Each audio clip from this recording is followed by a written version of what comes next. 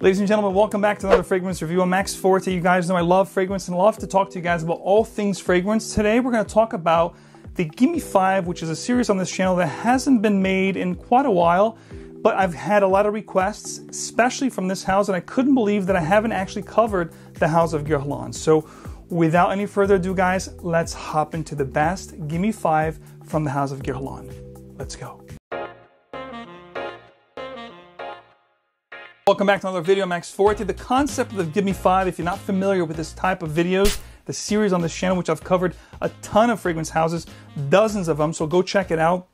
The main houses have been covered, but I couldn't believe myself when I saw that I have not yet talked about Guerlain. So the concept here is to talk about the top favorite five fragrances from any particular brand that I absolutely love and could not live without. In this case, the House of Guerlain. Now, Guerlain is a fragrance house that needs no introduction. They've been around since 1828 but a fragrance brand that is absolutely loved by most and adored by many. You know, over the years, of course, these top five are just my favorite. It's not the end all be all Guerlain, you know, top five of all time. Perhaps it is for me, but there's going to be some fragrances that are not going to be featured here. Don't despair, don't get upset. Most likely, I do enjoy them. They're just not the ones that I reach out for the most. So, with that out of the way, let's hop into the choices. A quick summarized version of the history of this incredible brand. You know, Guerlain, it started in 1828 by Pierre Francois Pascal, and he mostly did hygiene uh, type products, but he did actually was commissioned to do some perfumes on a bespoke manner, and people loved his creations so much that he was actually the official perfumer of many of the royal courts of France and adjacent countries. Quick fun fact here: not only did you know Guerlain created the, the Guerlinade, which is known as one of the best you know compounds ever made in the world of perfumery, but it also was the first fragrance, uh, the first fragrance that utilized synthetics were actually made by Guerlain in 1889 with the creation Jicky, which is adored and loved by many. And the, the note that they created was coumarin, which was a synthetic molecule. And the House of Guerlain has been gracing the world and mesmerizing us with their incredible potions and creations for 193 years and counting. So, with all of that out of the way, let's hop into my favorite five from Guerlain of all time. My first one here, as you could probably imagine, is from 1959. We're going to try to do this chronologically as best as possible. If you know my taste, you know how much I love oak moss and vetiver. They're, they're my two favorite notes in perfumery. And of course, my favorite choice here is going to go to this one right here from 1959 originally, Vetiver, Guerlain Vetiver that is, created by Jean-Paul Guerlain what I love about this fragrance is they take a few different vetivers, I think Javanese vetiver, Haitian vetiver, and they combine this fragrance with some spices, some aromatic, you know, woody compounds, and of course, a gorgeous note of tobacco, which really sets this apart from any other vetiver out there. I think the only thing that comes close to how good this fragrance is would be uh, Vetiver release from Dior La Collection Privée which I believe was released in 2010, is the only thing that's going to come close to the goodness and the amazing scent profile of this particular vetiver here. Now, this one here, I believe it's from the 2000, early 2000, I think 2002 is when I purchased this one. There's many different variations and you know releases of the vetiver from Guerlain, all of which will smell amazing. Some a little more concentrated, some a little less concentrated, but nevertheless, they kept the original scent profile from the 1959, and that's what you're gonna get here. Just the perfect, to me, and all be all best vetiver fragrance money can buy, guys. And a lot of times you can actually find these fragrances for, not this one here because it's been discontinued, but the original formulation that you're gonna see right here on the screen can actually be found these, these days for a very cheap price, and the quality is just second to none, guys. So if you love vetiver, definitely check it out. You're gonna love it. Now we're gonna jump from 1959 all the way to 1965. When I smell this fragrance, it brings me back to a time I wasn't even alive, but I do appreciate the time because I love music, I love rock and roll. So we're talking about the Beatles, we're talking about the Rolling Stones. You know, a lot of those bands actually wore this fragrance back in the day as their signature scent. In fact, this particular fragrance happens to be Keith Richards' signature scent from the Rolling Stones. And I'm talking about Habit Rouge from Guerlain, guys. This is an Eau de Parfum concentration, an absolutely stunning fragrance. It's fruity, it's animalistic, it's a little bit aldehydic, it's spicy. There's some sandalwood here that adds creaminess to the fragrance, ton of spices like cinnamon, for example. It smells just absolutely heavenly, masculine, a little bit rugged, but with some elegance and sophistication, class to the fragrance. Just uncanny. There's nothing in the world that smells quite good as Habit Rouge. And I highly suggest and highly recommend you guys checking this fragrance out. It's another one just like Vetiver in the bottle like this. You can actually find it as a cheapie out there, and the quality is the Guerlain quality that you can expect to find, which is second to none. So definitely a great timeless fragrance that I absolutely love from the House of Guerlain. If you're a fragrance head, a fragrance aficionado, this is something that you have to have in your collection. At least try it once. Habit Rouge here at the fourth spot or at the second spot, whatever you want to go, five, four, three, two, one, or one, two, three, four, doesn't matter. This is not a countdown which one is the best, but just chronologically, this is 1965. Habit Rouge, a timeless, incredible fragrance. Woody spicy is how I would classify this particular fragrance.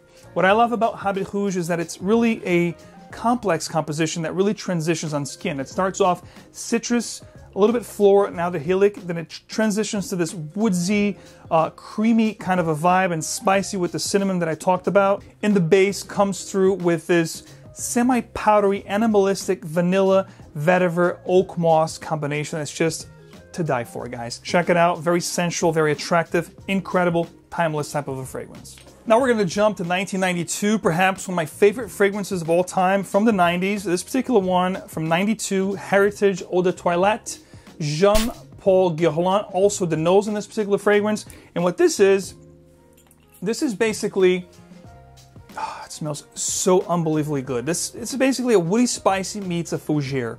It's taking that, you know, very groundbreaking but timeless profile of the fougere and adding these amazing spicy oriental kind of nuances. This fragrance has so much to offer.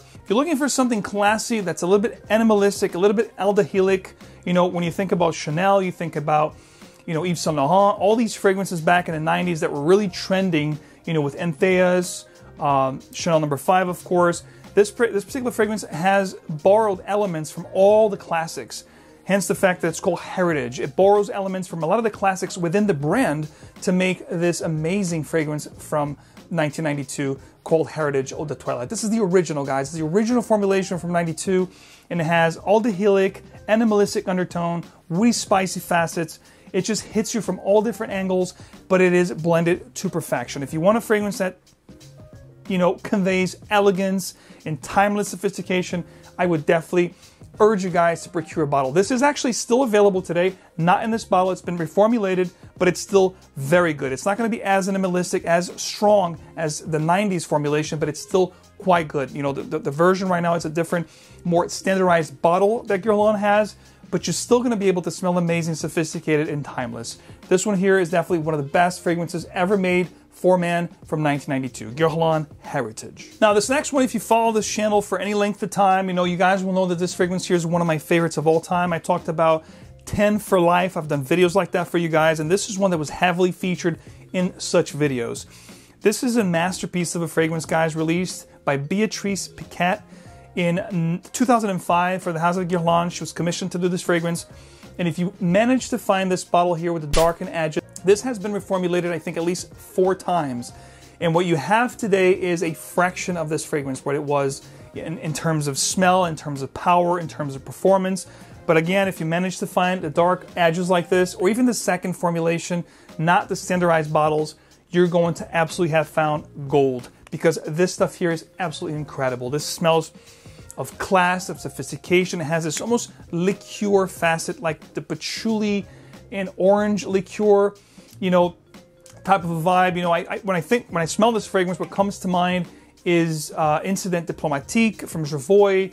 Um, it is one of those fragrances that has vetiver, patchouli, and heavy orange up top. So it has this almost like liqueur, boozy facet to the fragrance, and of course, an amazing note of cacao, of cocoa, chocolate. You know, cocoa pods here that gives this chocolatey, almost gourmand, but mostly a woody, spicy uh, slash oriental. Not so much gourmand because the cocoa here is going to be more of a dry uh, cacao, but it smells absolutely heavenly. This is a particular fragrance that I think if um, Tom Ford put out and called uh, Cocoa Dreams or, or, or, or Sensual Cacao or something like that would fetch two, three hundred dollars, no problem. That's why when I do find this particular fragrance here with the, with the darkened edges, even at 150 bucks or 200 dollars full bottle, I buy it with no problems without even blinking because this is quality through and through. This is one of those fragrances that I wish would come back on its original formulation, just like I'm showing you guys in this video. L'Instant de Guerlain Eau Extreme, or simply known here in the community as